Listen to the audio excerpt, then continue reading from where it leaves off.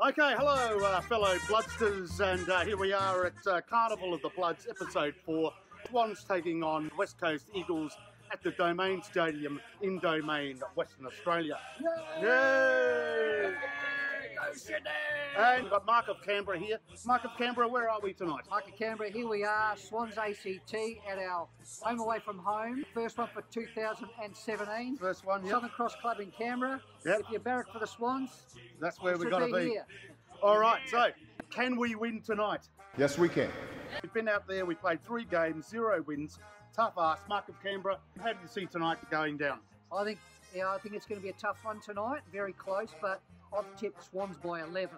Swans by I'm 11. going out there in the tipping comp, Swans by 11. Yep. Few injuries. Naismith, poor fella, did his knee during the week at training. And, uh, Tippett hasn't got back in, so we're going to be Rampy's really. still out. Rampy's out. Whole bunch of players out. Heeney, blah blah blah. You all, you know it. Tough job in the ruck tonight. Tough but job. uh, over to Callum Sinclair. He'll be he'll be carrying the bag for everyone. Callum Sinclair So, in the uh, ruck. Right. That'll be it. Yep. And Papley's in. Papley and Okay. and Milliken Yep.